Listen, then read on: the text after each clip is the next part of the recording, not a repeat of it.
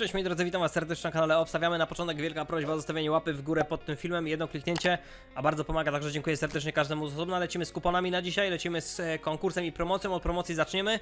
Jeżeli nie macie konta w BetClicku, to jest legalny w Polsce Bookmachera, założycie z linku, który jest w pierwszym komentarzu pod tym filmem, użyjecie kodu promocyjnego Obstawiamy 50, tak jak teraz widzicie, to możecie stworzyć pierwszy kupon za 57 zł, obojętnie jaki. Jeżeli nie wejdzie, wraca do was 5 dych, możecie wypłacić. Jeżeli wejdzie, nieważne czy wygracie 1000 czy 8000, możecie wypłacić, nie trzeba grać dalej, nie trzeba obracać, to w tej jest najlepsze, odsyłam do pierwszego komentarza pod tym filmem.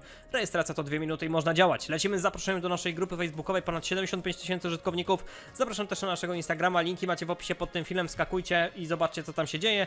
No i lecimy z konkursem tutaj, jak zawsze 5 do wygrania, co trzeba zrobić, żeby nie powalczyć. Subskrybować kanał, zostawić łapę w górę pod filmem, w komentarzu typujecie dokładny wynik i minutę pierwszej bramki w dzisiejszym meczu pomiędzy Barceloną a Hetafe. Dodatkowo dopisujecie swój login gracza z BetClicka.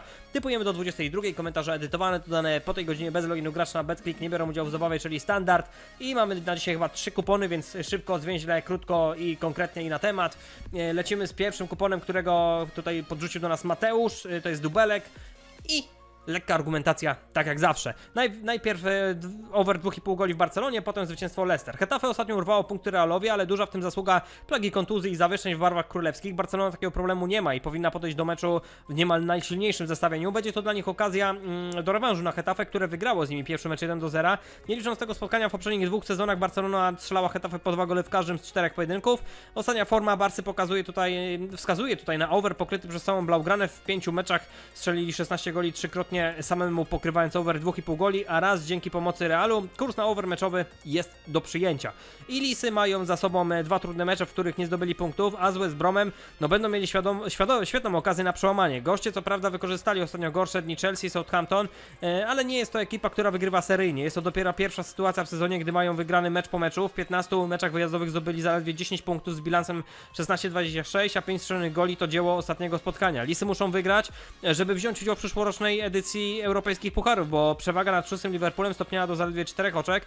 No tutaj, e, tutaj Mateusz spodziewa się powtórki z pierwszego meczu tych drużyn, gdzie Leicester wygrało 3 do 0. Pierwsza propozycja kuponu za nami, lecimy dalej. Dalej mamy e, dubla od Patryka. Na początek Ajax gol w obu połowach. Aż 86 goli strzelili w tym sezonie piłkarze Ajaxu, a wrażenie robi fakt, że zrobili to w 28 meczach. No mają ponad 3 strzelone bramki na mecz, a ponad połowę, bo 45 goli strzelali do przerwy.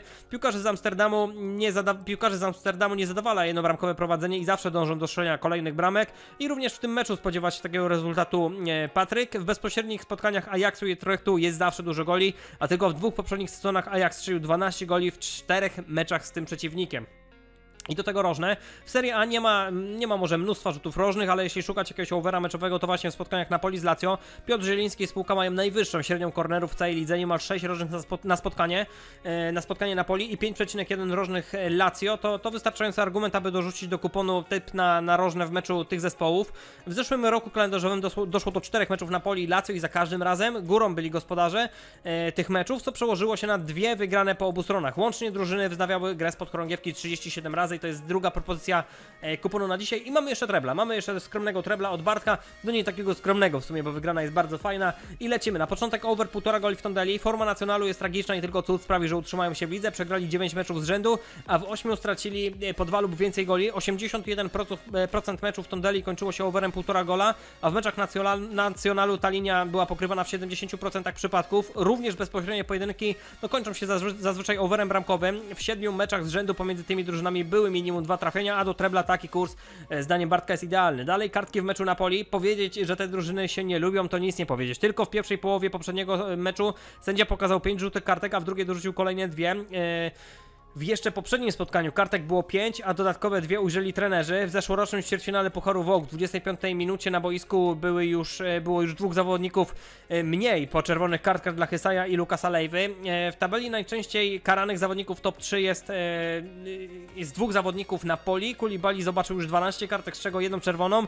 Di Lorenzo ma ich na koncie 10, więc tutaj no kartki dosyć oczywistym wyborem. I na koniec jeszcze rzuty rożne w Romie. Zarówno Roma, jak i Atalanta potrzebują tutaj trzech punktów. Roma jest do dopiero siódma i goni miejsce, miejsca dające przepustkę do Ligi Europy. Atalanta ucieka od czwartego Juventusu i piątego Napoli, nad którym ma kolejno dwa oraz cztery punkty przewagi. Żadna z drużyn nie będzie się zadowalała remisem i muszą nacierać od początku. Mecze między Atalantą i Romą zawsze są ofensywne, co, co, co pokazują ostatnie wyniki, takie 4-1, 2-1 czy, czy dwukrotnie 3-3. Ofensywne spotkanie powinno pomóc w nabiciu rzutów rożnych. To jest ostatnia propozycja na dzisiaj. Trzy kupony. Pamiętajcie, że to są propozycje od innych graczy. W 100% tutaj się nie sugerować bez swojego przemyślenia i nie kopywać, żeby do nikogo nie było pretensji. Słuchajcie, ja na sam koniec zapraszam do subskrypcji kanału, jeżeli tego nie robicie, zapraszam do naszych grup, linki w opisie pod tym filmem, zachęcam do brania udziału w konkursie, trzymajcie się, dobrego dnia, nara.